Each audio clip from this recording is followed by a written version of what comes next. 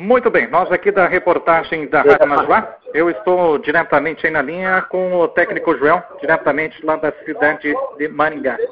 Ah, falando um pouquinho agora em relação à escalação aí, Joel, que a gente pode notar essa surpresa realmente aí do Bruninho Guerreiro começando como titular hoje, Joel. Com certeza, né? A gente já tinha treinado, já tinha decidido depois do jogo contra o Toledo, o Bruninho tinha entrado bem, por ser um jogo a gente precisava de dois volantes de contenção. No jogo passado a gente jogou com um volante só e agora jogamos com dois volantes, né? E adiantamos o Thiago Henrique na frente juntamente com, com o Cabixi. Deu certo, jogamos muito bem, marcamos sim, pressionamos o adversário, tinha várias situações de, de, fazer o gol, até mais do que eles tiveram chance, nós tivemos três, quatro chances de, de, de fazer o gol fizemos uma grande partida, né? O importante foi que a gente fez uma grande partida e conseguimos o objetivo, né? Derrubamos o invicto, né?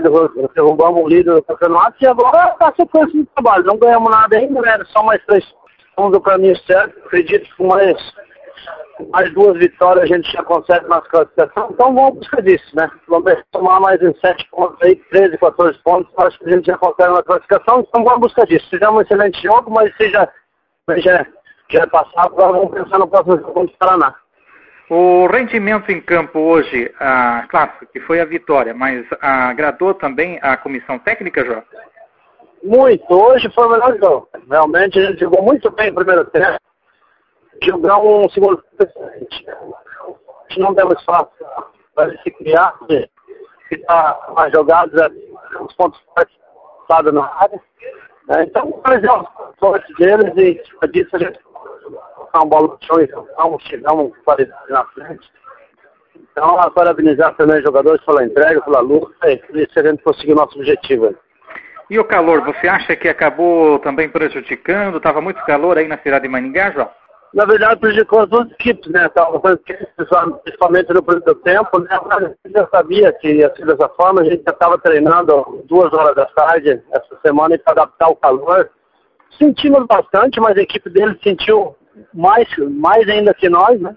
É, deram uma caída no segundo tempo e já continuou no mesmo ritmo. A gente sabia também que eles cairiam no segundo tempo fisicamente, né? Bastante jogadores assim, de uma idade já mais avançada, jogadores experientes, bastante, a gente acabava pegando no começo ao final, então, dois, muito bem fisicamente, o Ivan e o Dino fizeram um excelente trabalho na partida, tá? Isso, resultado nos jogos, resultado nos jogos.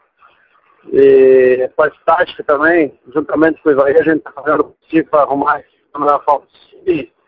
Dentro de como jogador que são eles, que é mais importante.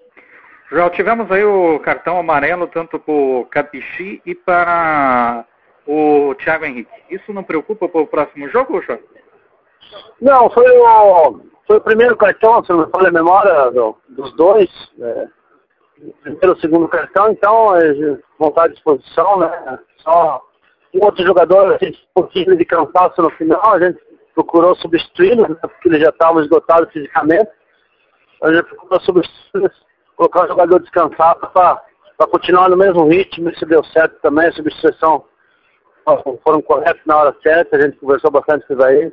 Na hora certa gente substituiu ali, os jogadores que entraram entraram muito bem também, supriram a necessidade né, o cansaço dos jogadores de saída, até aqueles que estavam em campo, né, as instituições entraram muito bem os jogadores, e por isso que a gente conseguiu né, é, fazer esse bom jogo, porque o time está muito bem, realmente.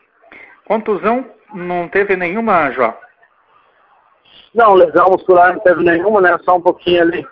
Casimiro, de repente, sentiu um, um desconforto ali na, na perna, o Thiago Henrique, mas tudo coisa normal do, do jogo, né, foi muito corrido, jogaram no limite, tiveram que correr bastante, por isso que eles sentiram desconforto ali, não, não é nada que, possibilite eles de, de jogar o próximo jogo.